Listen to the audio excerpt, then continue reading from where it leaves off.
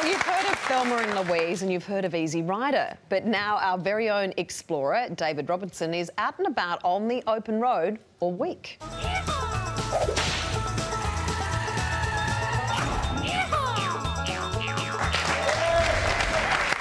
this morning he joined us from the beautiful mountain town of Jindabyne in New South Wales. Robbo, that looks so relaxing. Well, it certainly is relaxing, Natarsha Belling, and I look. I tried to tell you that, uh, but you never got back to me about my special invitation for a relaxing kayak for two. So I bought my own date, which is pretty much the same thing. Morning, Skip. How are you this morning out on the lake here uh, today with the beautiful uh, uh, Skippy here? So we thought we thought we'd have our own party here this morning. So uh, let's get the party started now. Crank the tunes. Here we go. Happy birthday to Studio 10, you beautiful thing. Here, oh, here we go. Skip, you can help out, mate. Yeah, there we go. Happy birthday. And I've got a second birthday cake here for everyone.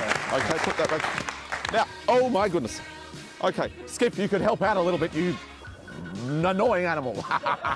now, yes, Tash, we are uh, out on Lake Jindabyne this morning, which is a beautiful part of the world and one that you can really only see by caravan and camping. You know, forget the airport for the moment. We've got some sensational uh, tourist destinations around this country. Oh my goodness. Skip, help out for goodness sake, you more annoying animal. gently. Now, sorry, get back here. Hold on. Gently. You know Now- it's not a real kangaroo, right? We couldn't have got here. Hold on, where are we? Skip, get out of my shot. Skip, out of my. Oh, I can't steer this thing. oh, Skip's going to go in. Now, I tell you what, there's no way that you, Oh my goodness. There's no way that you could have got in uh, to the beautiful I'm no Lake expert, but uh, Jindabyne uh, without from Skippy, uh, it looks a little bit You couldn't have done cold. it. So we came in with a beautiful Avida motorhome here this morning. Oh, which is uh, just really a palace on wheels here today. And it's where we're going from every single point on the map of this beautiful country. And that is how we're seeing it. It's pretty much going to make the sheikhs of Dubai very, very jealous. It is a palace on wheels, let me tell you.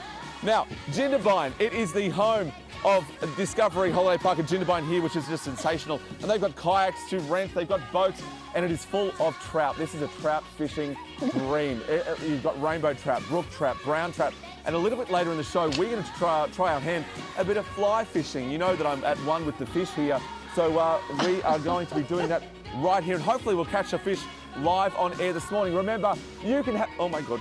Stay, stay with me, Skip. You can have a luxurious holiday worth $5,000. All you need to do is head to letsgocaravanandcamping.com.au forward slash Let's Go Robbo and tell us in 25 words or less what is your dream holiday and you could be out here with Skip. We'll see you shortly from Lake Jindabyne. Oh, Robbo! I think Skippy's got more personality than Robbo, though, wouldn't you say, or not? oh, that's cold. I don't think he's very. I don't think he's very good at steering the boat.